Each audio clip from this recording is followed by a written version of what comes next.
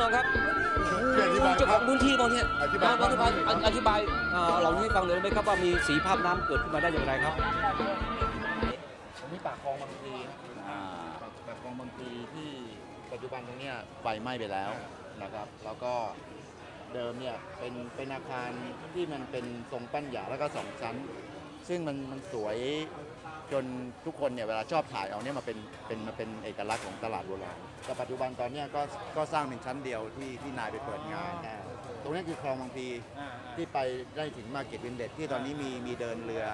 เดินเรือมาถึงวัดหลวงพ่อโต ตรงนี้ก็จะเป็นคลองสำโรง